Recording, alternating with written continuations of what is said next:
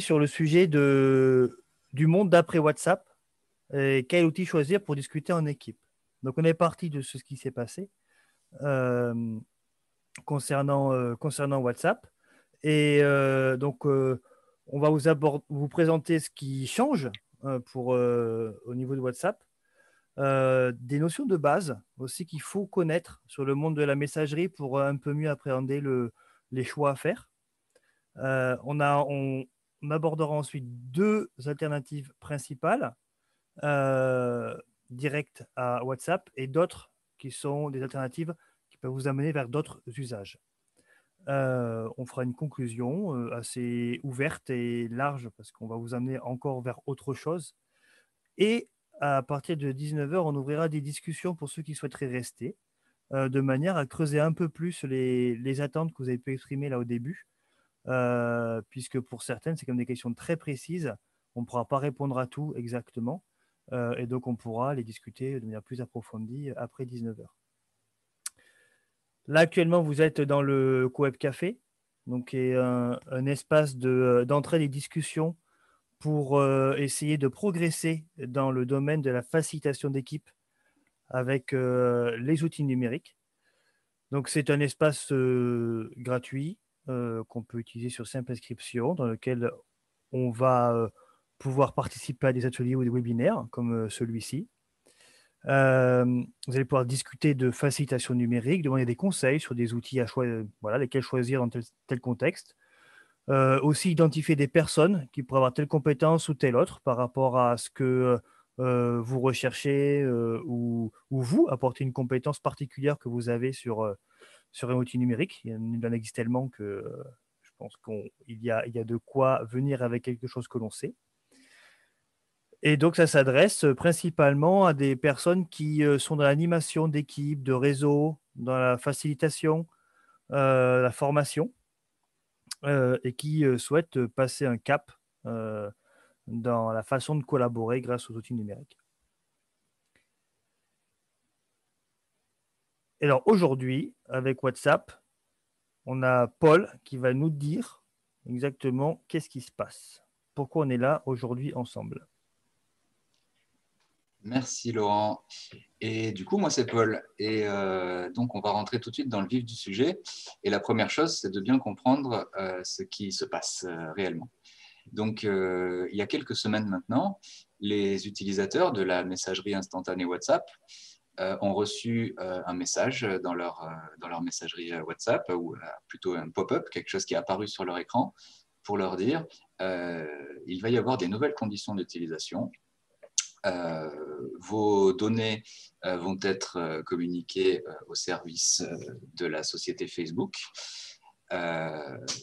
Et, et, si vous n'êtes pas d'accord avec ça, eh bien, adieu, parce qu'en fait, il n'y a pas le choix. Voilà. Donc, euh, il y a eu une grosse euh, levée de, boucliers. Il y a eu, ça se chiffre en millions, euh, le nombre de personnes qui, ont décidé de, migrer de WhatsApp à, à une autre application de messagerie. alors, qu'est-ce que ça veut dire ce changement de conditions générales d'utilisation? Eh bien, WhatsApp a été racheté par Facebook il y a déjà quelques années. Et euh, Facebook, euh, son modèle économique, c'est d'avoir des entreprises clientes qui payent pour bénéficier de la mise en relation entre euh, ces entreprises et leurs clients et leurs prospects, la publicité, etc., via les plateformes de Facebook. WhatsApp appartenant désormais à Facebook, le but de Facebook, c'est que les entreprises paient Facebook pour pouvoir vendre leurs produits plus facilement via ces plateformes-là, y compris WhatsApp. Et c'est dans cette optique euh, que euh, WhatsApp euh, partage désormais des données à Facebook telles que le pseudonyme, le numéro de téléphone, les adresses IP, les informations relatives à l'appareil des utilisateurs, comme la marque de l'appareil, etc. Et potentiellement d'autres infos. Voilà. Donc euh, euh, là, WhatsApp a réagi, évidemment, vu qu'il y a eu une, grosse levée de boucliers. WhatsApp a réagi, a essayé de préciser un peu les faits dans un article de blog. Alors, je l'ai lu. Euh, pour moi, euh, ce n'était pas du tout précisé. Les faits, c'était euh, vraiment utiliser un, vocabulaire assez complexe euh, et, pas très éclairant finalement. Mais en tout cas, WhatsApp a tenu aussi à préciser que ça ne concernait pas les Européens, les, membres, les personnes dans des pays membres de l'Union européenne, car il y a, vous le savez peut-être, le règlement général de protection des données au niveau européen qui est censé euh, assurer euh, de la transparence sur euh, les données récoltées par les entreprises sur les utilisateurs et, sur leur utilisation. Mais cependant, le fait que, ça ne s'applique pas à l'Europe grâce au RGPD, ça n'a pas suffi à, recrédibiliser WhatsApp. Il y a toujours un manque de transparence sur le fait que les données n'ont pas été, enfin, on ne sait pas exactement quelles données, pourquoi, etc. Il y a, un flou juridique. Euh, il y a également carrément un risque euh, d'amende euh, de l'Union européenne que l'Union européenne pourrait infliger à WhatsApp de quelques millions d'euros aussi. Alors, je ne dis pas que ça va être fait, hein, mais il y a ce risque-là. On est vraiment, pour l'instant, dans un flou sur, le, disons, le, caractère légal en vue de, la loi européenne là-dessus. Donc, c'est pour ça qu'il y a eu énormément de personnes qui se sont dit ça ne me convient pas, je n'ai pas envie que toutes ces données soient rassemblées sur Facebook, euh, quittons euh, WhatsApp. Voilà. Euh, donc, effectivement, qu'est-ce qui, qu'est-ce que, quelle conclusion on peut tirer de ce qui s'est passé? La première conclusion, c'est que le niveau de confidentialité de WhatsApp euh, c'est-à-dire euh, ce qu'on sait sur la façon dont WhatsApp traite nos données, il est instable, il est flou. Euh, et ceci peut être un enjeu pour des personnes, pour des groupes de gens, que ce soit des collectifs, des associations, des entreprises. ça peut être un enjeu, donc, et si c'est un enjeu, ben, c'est le rôle des facilitateurs et des facilitatrices de s'en emparer et de faire que euh, le groupe euh, soit au fait de ses droits et devoirs, euh, notamment en, ce qui concerne les données en l'occurrence. Voilà. Donc, la deuxième conclusion qu'on peut en tirer, c'est que le modèle économique, c'est fondamental lorsqu'on veut comprendre un outil que l'on utilise, un service que l'on utilise comme WhatsApp ou un autre. Euh, vous voyez sur cette diapositive le, petit dessin. Si c'est gratuit, c'est vous le produit. Ça, vous avez peut-être déjà entendu cette formule. Elle est, euh, elle est très vraie en ce qui concerne notamment les GAFAM, c'est-à-dire Google, Apple, Facebook, Amazon et Microsoft. Euh, en gros, les grosses entreprises du numérique qui, qui modèlent nos vies et avec qui, dont on a extrêmement, extrêmement de mal à se passer. Euh, leur technique, leur technique, disons leur, euh, leur modèle économique, c'est de nous proposer des services gratuitement pour la plupart, euh, pour ensuite vendre nos données à leurs réels clients, qui sont les entreprises, les autres entreprises à caractère commercial. Voilà, les, voilà un peu un état des lieux du tableau. Alors là, on vous a mis un, énorme tableau euh, qu'on ne va pas lire, juste pour vous donner une idée. C'est les données euh, auxquelles euh, les applications WhatsApp et Facebook Messenger acceptent, de, enfin, les données pardon, dont, que les applications requièrent pour fonctionner sur votre téléphone. Donc là, pour WhatsApp, on a une, dizaine, une douzaine, une quinzaine peut-être de, types de données. Donc il y a localisation, etc., etc. Pour Facebook Messenger, il y en a carrément le quadruple.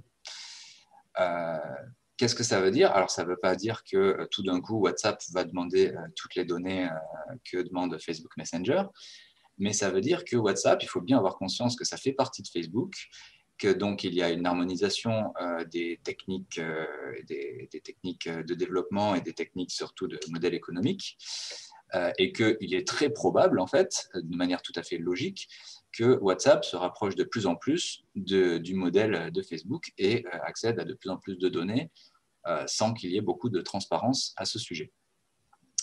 Voilà ce que je voulais dire sur cette diapositive.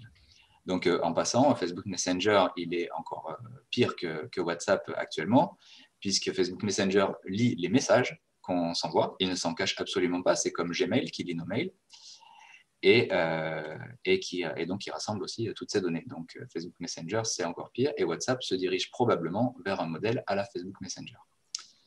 Paul, j'ai une question qui n'est pas dans le chat, mais elle est dans ma tête. du coup, je la pose directement. Est-ce que ces données-là que tu as présentées, elles sont donc partagées ensuite avec des, des clients, des entreprises, ou c'est juste les données collectées là? Euh, alors, sur le sur le sur l'image, c'est les données euh, collectées, c'est les données auxquelles théoriquement l'application a accès sur le téléphone, c'est les données qu'elle a qu'elle a demandé. Euh, moi, je veux bien accéder à ces données-là, s'il vous plaît. Après, d'après le, qu'elle a relié, qu'elle a relié. À, là, c'est data linked to you, donc c'est des données reliées à toi. C'est pas anonymisé, quoi. C'est vos données.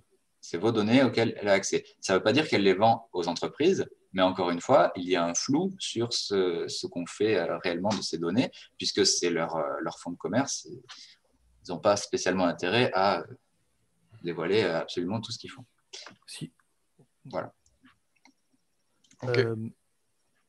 On, pourra, on pourra revenir dessus sur cette histoire de données collectées et de données retraitées. C'est quelque chose d'assez fondamental aussi, sur lequel on peut nous avoir la main aussi en tant qu'utilisateur. On pourra en parler dans la partie discussion. Voilà. Et donc, euh, on va passer aux euh, petites notions de base à connaître pour pouvoir aller de l'avant. Et Laurent, c'est à toi. Donc, euh, une fois qu'on a fait ce tour un petit peu des enjeux qui sont posés par les changements que nous impose WhatsApp, on se pose la question de OK, what else? Et le what else, il va falloir le, le, aller le creuser en ayant déjà une idée de comment ça marche les messageries, techniquement et politiquement. Donc, on va introduire des notions euh, globales à ce niveau-là pour vous permettre, en lisant un petit peu la carte d'identité d'un outil, euh, dans quelle euh, catégorie se range l'outil. Et ça va vous aider à construire une grille de lecture. Donc la première notion à connaître, c'est la notion de client-serveur. Cette architecture, elle décrit un mode de fonctionnement où un client demande un service à un serveur qui lui renvoie une réponse. C'est comme au bar. Hein. C'est-à-dire que vous êtes le client, vous allez demander une boisson euh, au barman, il vous sert une boisson.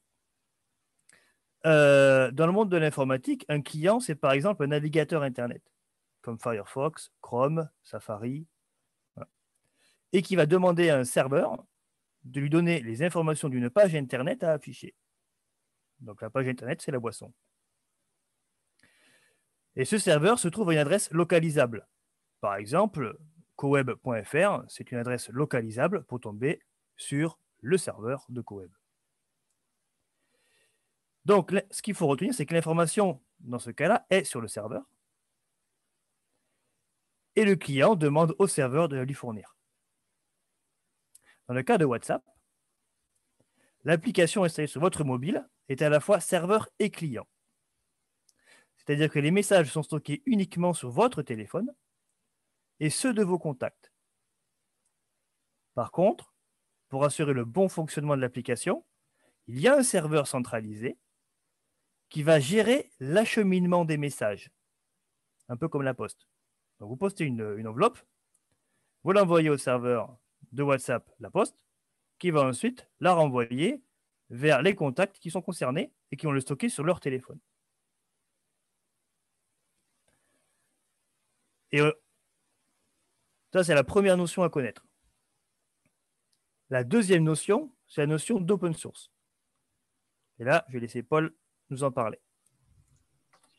Alors, l'open source, qu'est-ce que c'est?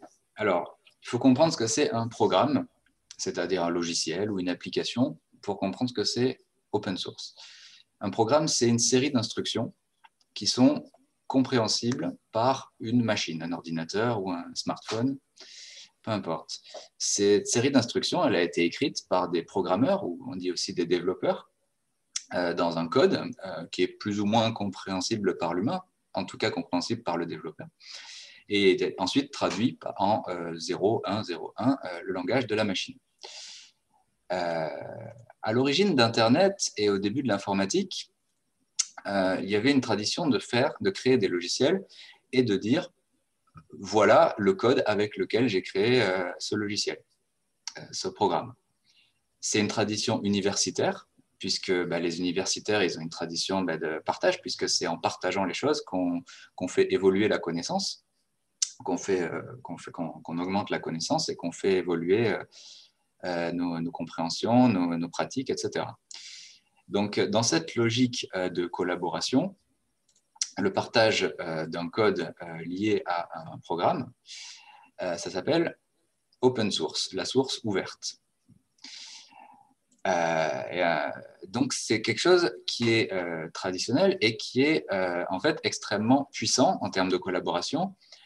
Et ainsi, contre-intuitivement, dans le domaine de la sécurité informatique, par exemple, à quel point un logiciel est résistant à des attaques de, hackers ou de, personnes malveillantes, ben en fait, les logiciels open source sont, dont, dont, le code source est disponible, donc sont beaucoup plus fiables que euh, des logiciels euh, propriétaires, c'est-à-dire des logiciels qui ont choisi de ne pas diffuser leur code source parce que c'est leur trésor à eux, c'est leur, euh, leur propriété intellectuelle. et comme les GAFAM, par exemple, Microsoft, Apple, etc. dans le domaine de la sécurité, ce qui est juste un exemple, ben en fait, c'est beaucoup plus pertinent de publier son code source, comme ça le monde entier, et pas que seulement les personnes que l'on paye pour ça, peut regarder le code et dire hmm, là, il y a une faille, il faut la corriger, là, il y a une faille, il faut la corriger. Voilà, donc euh, quelques exemples de logiciels open source.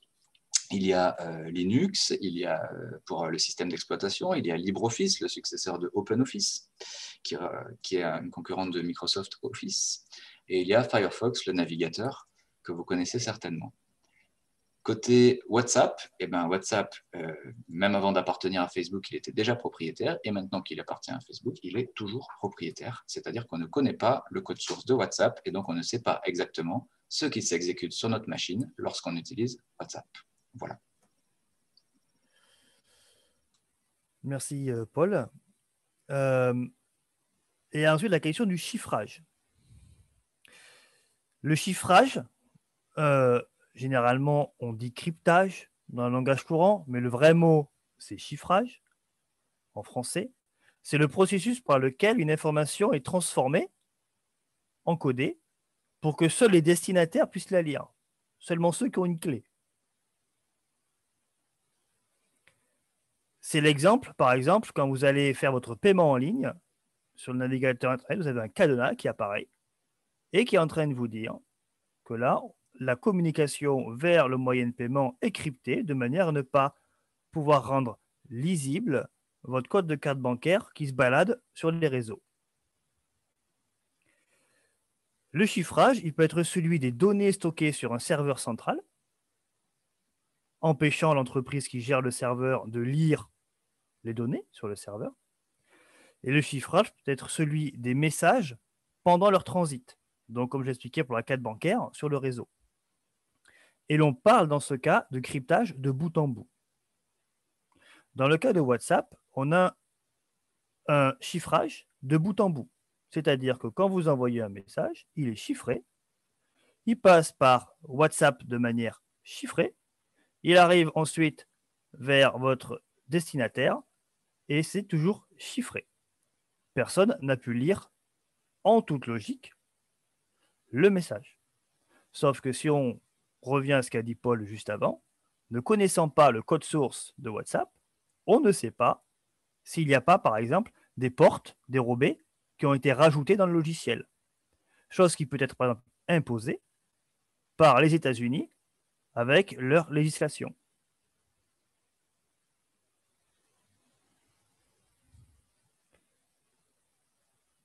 Il y a ensuite une distinction à faire entre sécurité et confidentialité. C'est souvent un amalgame dans la tête des personnes.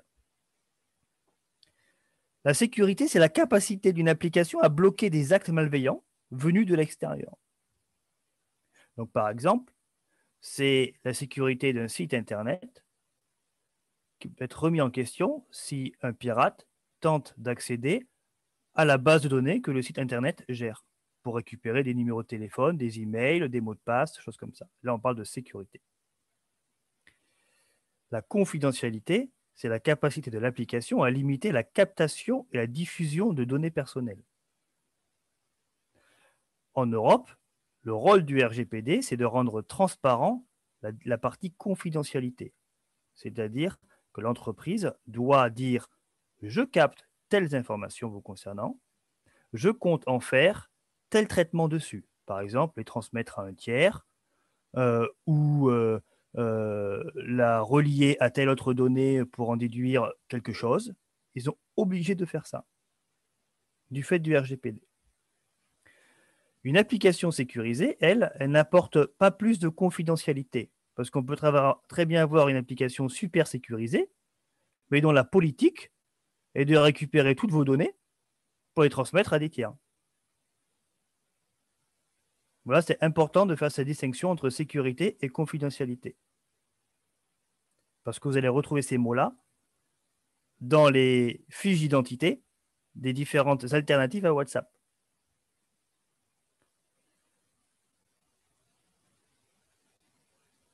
Maintenant, on peut ouvrir un temps de questions, de clarification sur ce qui a été dit. On donne cinq minutes pour cela et après on passera aux alternatives. Alors, il n'y a pas de questions dans le chat, si je ne me trompe pas. Est-ce qu'il y a des gens qui ont des questions à formuler à l'oral?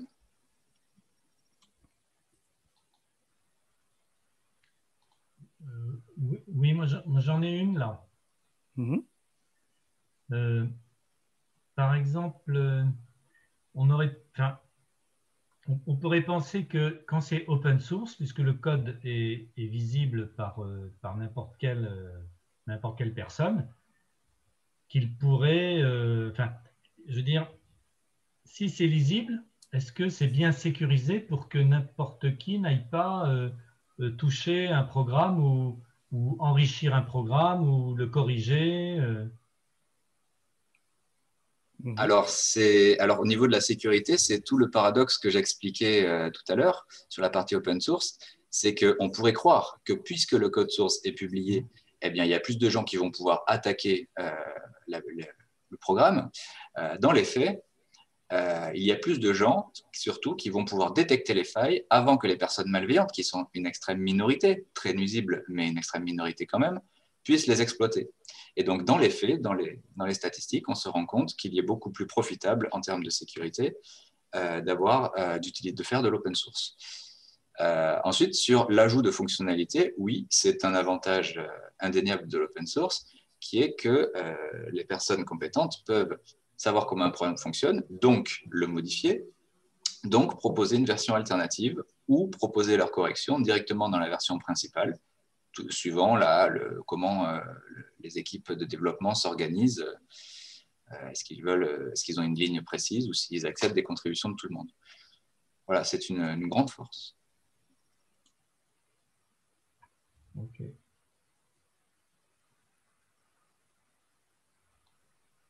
Frédéric? Je crois qu'on peut passer à la suite. Hein. D'accord.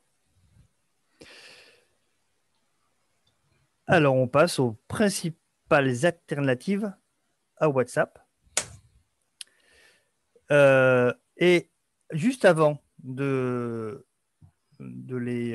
rentrer dedans, on va en présenter deux, un Telegram et Signal, et qu'on va regarder sous l'œil des différentes notions qu'on a vues juste avant. Euh, il y en a d'autres, comme Olvid, qui est euh, une application créée par l'entreprise française et qui est sans doute l'une des plus sécurisées. Euh, aussi. En tout cas, par leur, leur mode de, par la conception technique même de l'application. Il y a Wire, euh, il y a Viber, il y a euh, un nombre assez important d'applications. De, donc, on va se concentrer sur les deux plus populaires qui sont Signal et Telegram. et avant de savoir, d'abord, un, pourquoi on a choisi ces deux-là, c'est parce qu'on s'est posé la question, mais quels sont les usages principaux que l'on fait de WhatsApp? La première chose que l'on fait, c'est qu'on discute de groupes euh, en, groupe de, en groupe de 5, 6, 7, 8, 10, autant que l'on souhaite, ou de 1 à 1. Et on, peut aussi faire des appels en visio, en groupe, ou de 1 à 1, de manière très très simple. Et quand on discute, on peut aussi bien échanger, des liens, des vidéos, des images, des images animées, des enregistrements audio si on a un long truc à dire plutôt que de taper un message. Euh, donc c'est un canal de, discussion très multimédia.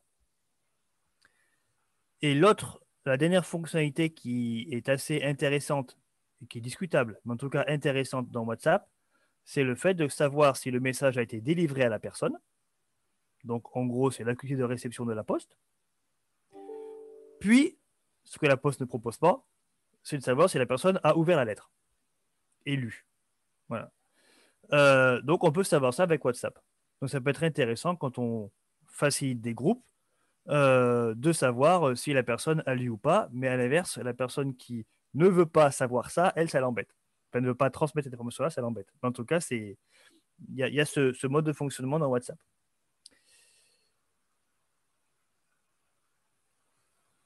Donc je vais laisser Paul commencer par nous parler de Telegram. Allez, c'est parti pour Telegram. Ensuite, on verra Signal. Et euh, pour euh, Telegram comme pour Signal, on va se poser les mêmes questions. Donc la première question, c'est qui est derrière? C'est une question euh, fondamentale dans notre ère dématérialisée où on a tendance à, utiliser des, choses sans se demander d'où ils viennent, comme s'ils tombaient du ciel. Mais en réalité, c'est une question qui peut être assez éclairante si on a envie vraiment de trouver des alternatives et savoir ce que veut dire alternative. Donc Telegram. Telegram, c'est créé par des Russes. C'est créé par... Et bonjour Bérangère. bonjour B. J'espère que tu vas bien. J'ai plaisir de te, voir, de te pas te voir, mais de te percevoir. Je reviens à Telegram. Euh, donc, qui est derrière Telegram? Euh, À la base, euh, l'application a été développée par des opposants euh, à Vladimir Poutine, euh, des opposants disposant d'un certain capital financier qui leur ont permis de payer des développeurs pour développer une appli qui échapperait à la surveillance, je vais dire du Kremlin, je ne sais pas si c'est le bon terme, mais de, Vladimir Poutine, etc. Le modèle économique maintenant, très important aussi, Telegram est gratuit. Telegram, jusqu'ici, il a été financé par des dons. Alors, au départ, euh, bah, des dons de gens très riches pour pouvoir créer l'appli, et puis euh, désormais des dons un peu tout le monde, euh, j'imagine. et vu l'afflux récent provoqué par la fuite de WhatsApp, Telegram est en train de s'interroger, actuellement on est en phase d'interrogation, sur est-ce qu'il propose une version premium qui serait payante pour des fonctionnalités en plus, tout en gardant euh, une version gratuite telle qu'on la connaît actuellement. Ce serait une, nouvelle source de financement. En termes de licence, alors licence, on ne va pas rentrer dans les détails. La question, c'est est-ce que c'est open source ou est-ce que c'est propriétaire? Euh, Telegram est partiellement open source. Il y a le client. Si vous vous rappelez euh, la notion de client et serveur, le client, c'est ce qui est, c'est l'application qui est sur votre téléphone et qui va accéder à un serveur euh, centralisé. Le client est open source, c'est-à-dire qu'on sait de quoi est constitué le client. Par contre, euh, le code du serveur, ça, il est fermé pour l'instant. Il y a eu des discussions sur s'il fallait l'ouvrir ou non, mais ça demanderait des changements, des, comment dire, ça demanderait de remodeler l'architecture pour des raisons que j'ignore. Donc, on est sur un open source partiel. les conditions, et oui, c'est une entreprise privée, Telegram.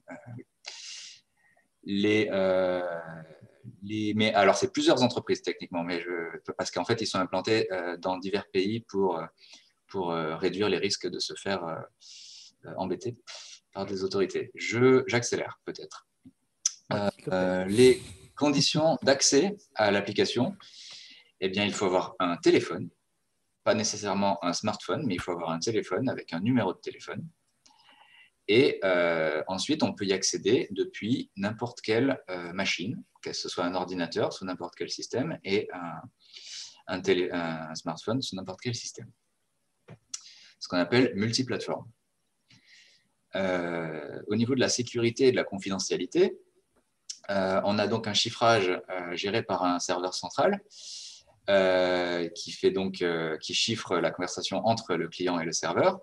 Et il y a la possibilité dans des conversations un à un, avec une seule autre personne, de faire du chiffrage de bout en bout sans que le serveur n'ait connaissance de la donnée. Voilà pour la sécurité et confidentialité. Alors, on passe à ce qui fait la différence de Telegram. Bon, c'est subjectif, mais quand même, qu'est-ce à quoi on pense quand on pense spécifiquement à Telegram? Il y a le fait que le smartphone n'est donc pas obligatoire. Donc, ça permet à des gens sans smartphone d'avoir l'application Telegram et de l'utiliser sur ordinateur ou sur Minitel s'ils ont envie. Je plaisante, bien sûr. On a euh, le fait que l'historique des conversations soit accessible depuis n'importe quelle machine. On peut l'utiliser sur plusieurs machines à la fois et on retrouve la même conversation sur son smartphone et sur son ordinateur et sur son autre ordinateur. Euh, il y a beaucoup de fonctionnalités avancées intéressantes euh, sur, le timer de description message. On peut créer des bots, c'est-à-dire des, utilisateurs électroniques, des robots qui vont mettre en place ce qu'on veut, des quiz, des sondages, des, des, trucs pour s'amuser, des trucs plus sérieux. Voilà. Donc c'est tout un, écosystème assez sympa. Et enfin, pour les limites, parce que Telegram n'est pas parfait, il y a donc le fait qu'il n'y a pas, pour l'instant en tout cas, de visioconférence. Il n'y a que de l'audioconférence, c'est-à-dire on peut passer des appels comme si on était sur notre téléphone et qu'on utilisait le réseau téléphonique, mais via euh, Telegram. Mais il n'y a pas encore la fonctionnalité de visioconférence. Euh, voilà, pour les limites de Telegram. Et on passe aux mêmes questions avec Signal. Laurent. Très bien. Euh, donc, Signal, euh, donc, qui est derrière Signal? C'est Open Whispers Systems, avec mon, accent bien à moi, qui est une fondation à but non lucratif des États-Unis. Et donc, son modèle économique est basé sur le don, puisque c'est des dons faits à la fondation et qui financent ensuite le système, en tout cas la solution Signal. Donc, l'application est gratuite. C'est une application entièrement open source, que ce soit du point de vue serveur que du point de vue client. Et pour y accéder, par contre, il faut un smartphone. C'est-à-dire qu'il vous faut un numéro de téléphone et un téléphone pour commencer à utiliser euh, l'application euh, Signal. Les messages que vous allez euh, pouvoir échanger avec Signal vont être chiffrés de bout en bout et rien ne sera stocké sur le serveur central de Signal, un peu comme WhatsApp. C'est-à-dire qu'il va juste permettre de réacheminer les messages, mais on va avoir vraiment un chiffrage de bout en bout sans stockage euh, au centre. Et donc sans risque de lecture par un tiers. C'est ça le principal, intérêt. Euh, ce qui va faire la différence, c'est justement ce chiffrage, cette capacité, et c'est pour ça que c'est reconnu comme étant une application à utiliser si on veut rester hors des écoutes, euh, eh ben, c'est cette capacité à chiffrer de bout en bout sans laisser de traces nulle part. Qu'on soit de 1 à 1 ou en groupe, contrairement à Telegram. Les limites, ben, ça, ça va être le modèle économique parce que beaucoup de personnes basculent sur Signal, et quand ça a basculé à ce moment-là, on a assisté à quelques ralentissements. Donc, se poser la question de comment va se financer la montée en charge. Est-ce que les, les dons vont suffire? Ce sont les mêmes questions qui se posent chaque année pour Wikipédia, par exemple. Ensuite, il y a des limites qui sont le côté peu fonctionnel du multiplateforme. Contrairement à Telegram, où l'on va pouvoir retrouver son historique de messages, quelle que soit la machine sur laquelle on est, avec Signal, on va retrouver ces messages, mais par exemple, si j'ai tous lus sur mon téléphone, ça va indiquer sur l'ordinateur que je ne les ai pas lus. Parce que sur l'ordinateur, je ne les ai pas lus. Donc, ce qui peut être des fois un peu perturbant dans, l'usage de, cette solution. Donc c'est plutôt une solution orientée téléphone aujourd'hui, plus que multiplateforme.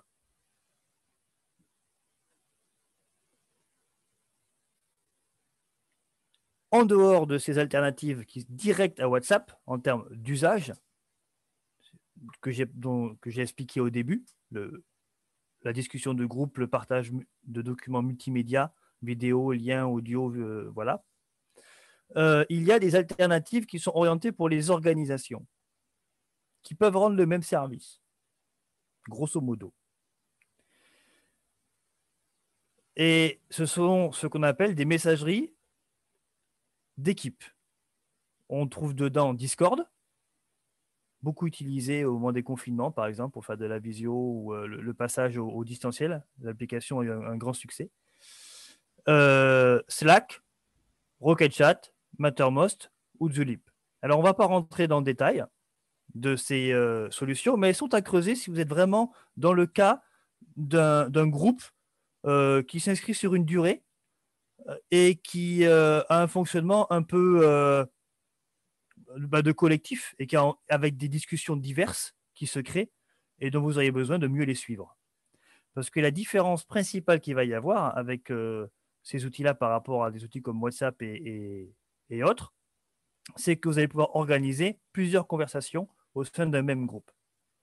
Vous allez aussi avoir la possibilité de participer aux conversations, quels que soient les terminaux utilisés, l'ordinateur, le téléphone, euh, toujours pas le Minitel. Hein. Donc ça, on oublie celui-là. Euh, et vous allez avoir la possibilité, si vous choisissez des solutions open source, de gérer vous-même le serveur central ou de faire confiance à un tiers qui va gérer le serveur central pour vous et donc qui va vous garantir la confidentialité de ce que vous échangez. Donc c'est, on ne rentre pas en détail de ça. Il faut savoir que ça existe et ça peut être une piste à aller creuser. Un exemple de comment ça se présente. Là, c'est le cas de Rocket Chat, où on a euh, des canaux privés de discussion ou des canaux publics de discussion. Une fois qu'on est sur un canal, on a un fil de message que l'on peut écrire en sachant qui a écrit, et on peut voir au niveau d'un message que celui-là a eu, par exemple, une réponse. Et donc, on a une organisation de la discussion sous forme de sujet, chose que n'apportent pas les autres outils comme Signal, Telegram ou WhatsApp. Question maintenant pour clarifier ce que l'on vient de, de présenter.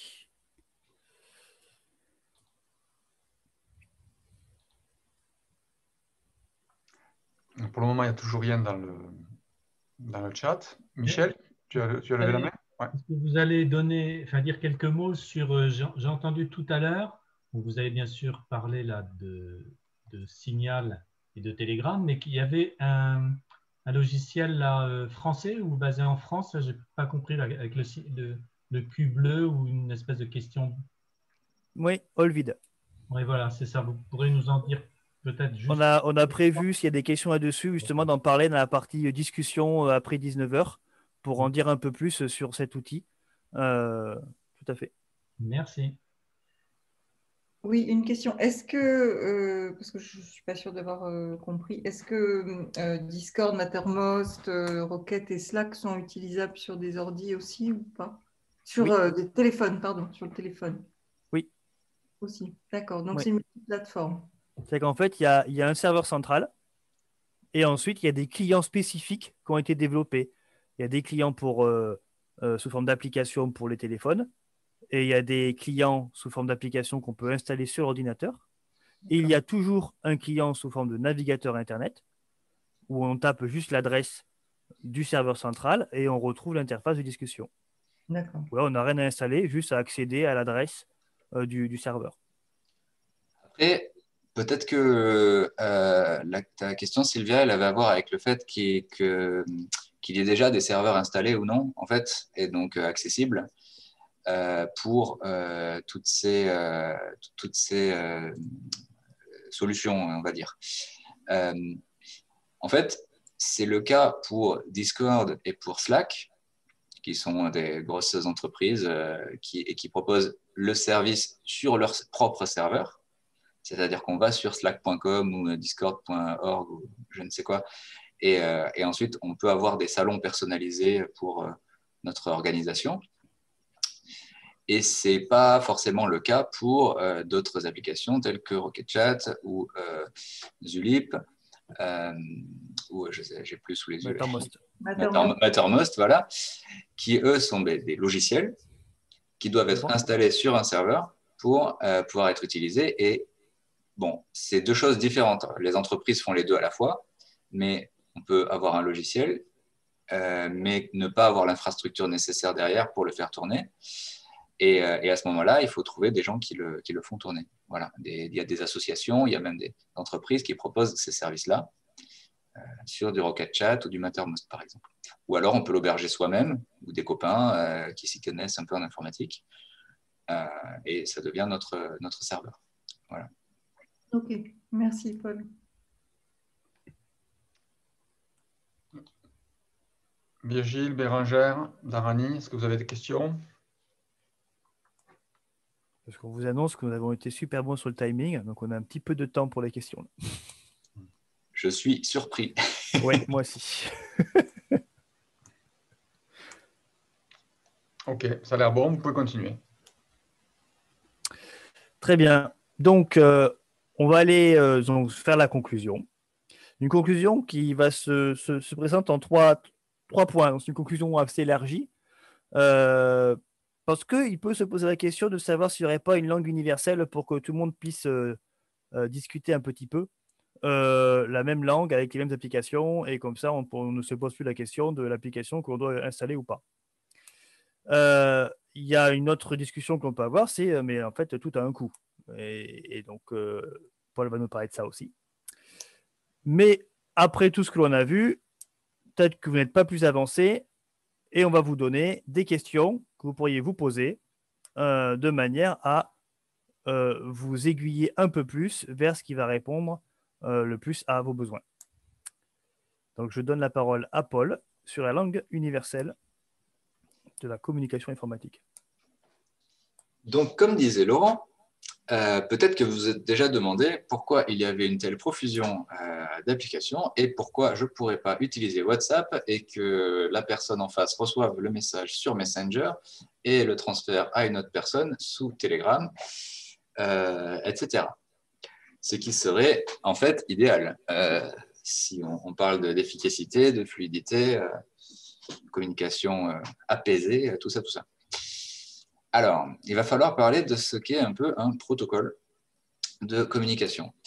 Donc, euh, deux machines, typiquement un client et un serveur, pour communiquer au niveau d'une application, euh, doivent parler la même langue. C'est comme deux humains. Euh, si je parle chinois et qu'on me répond en bulgare, on ne va pas arriver à communiquer.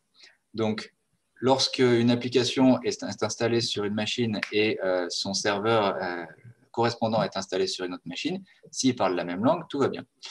C'est-à-dire si c'est euh, un client Mattermost qui communique avec un, serveur Mattermost, tout va bien. Mais euh, dès lors que ce pas les mêmes applis, ben c'est tout simplement euh, une communication impossible. Ils n'utilisent même pas les mêmes canaux de communication. Alors pourquoi euh, tout le monde n'utilise pas les mêmes canaux de communication? C'est une question de standardisation. C'est comme dans l'industrie ou dans n'importe quel domaine avec, euh, bah, des, choix à faire.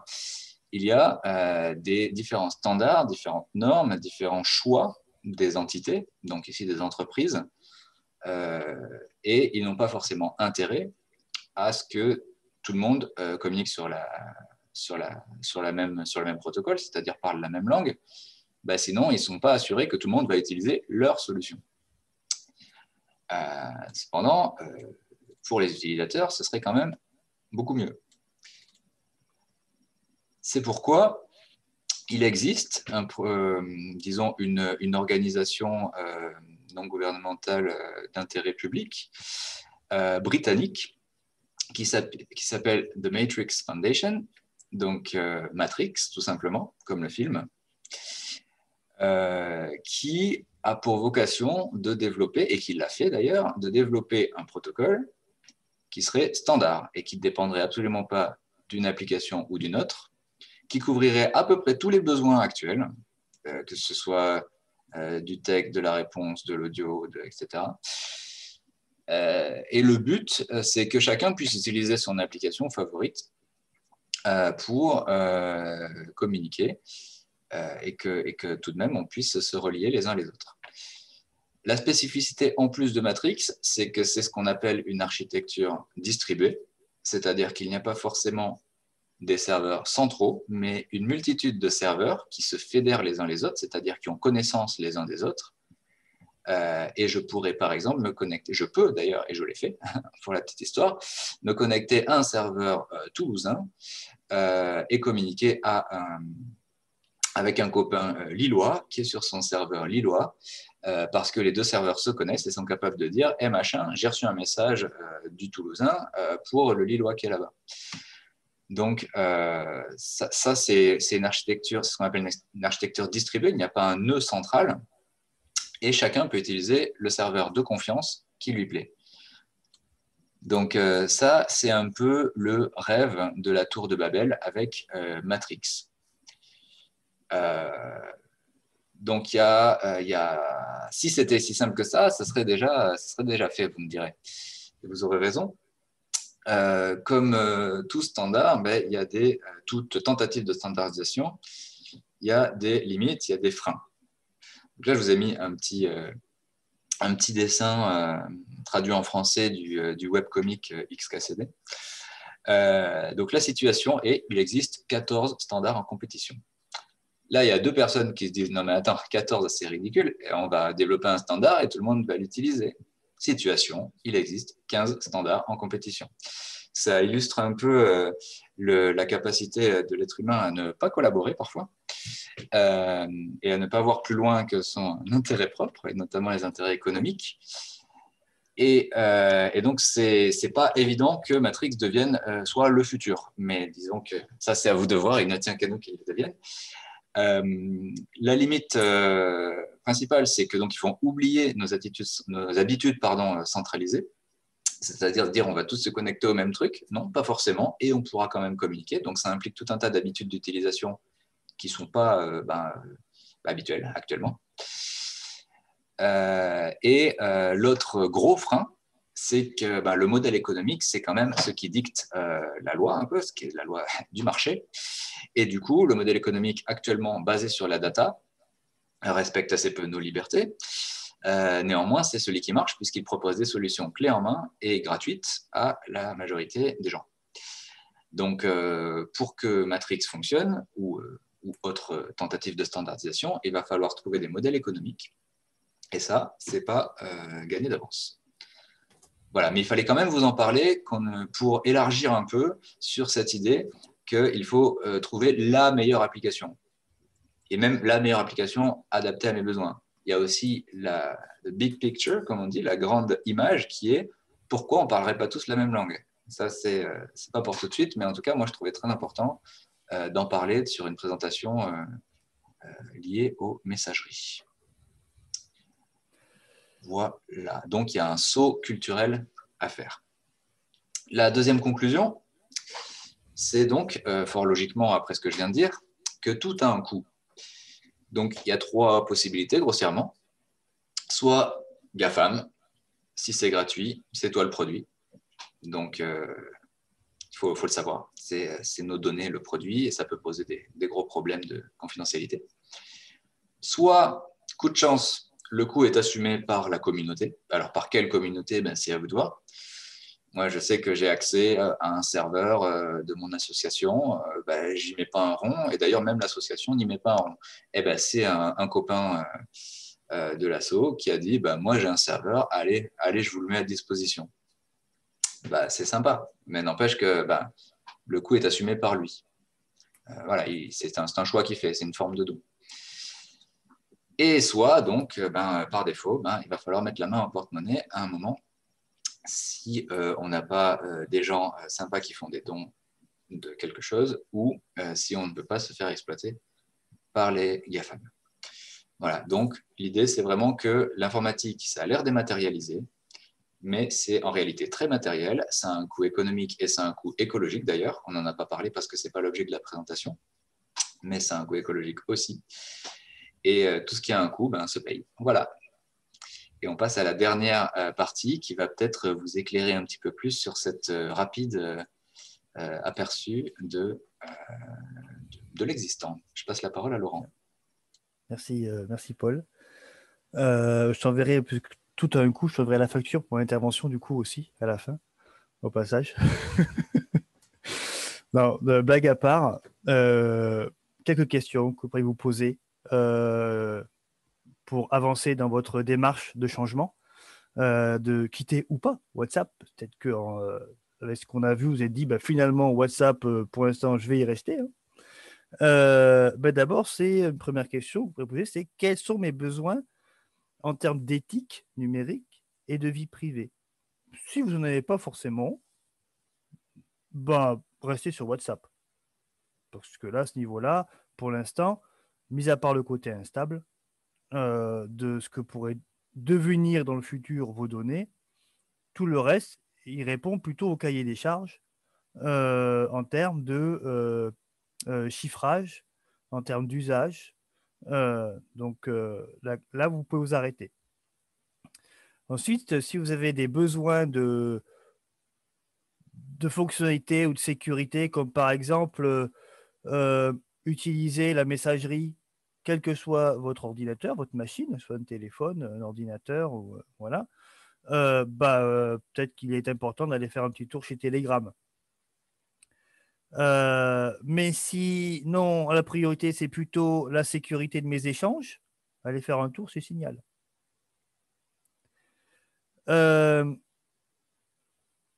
par rapport à ce qu'a dit Paul, si on se dit, alors moi je suis super militant, notre groupe c'est des militants, ils voient loin, on voit à 10 ans, 15 ans, 20 ans, on veut révolutionner le, monde de la communication, on s'engage en Matrix, on y va, on l'utilise et on en fait la promotion.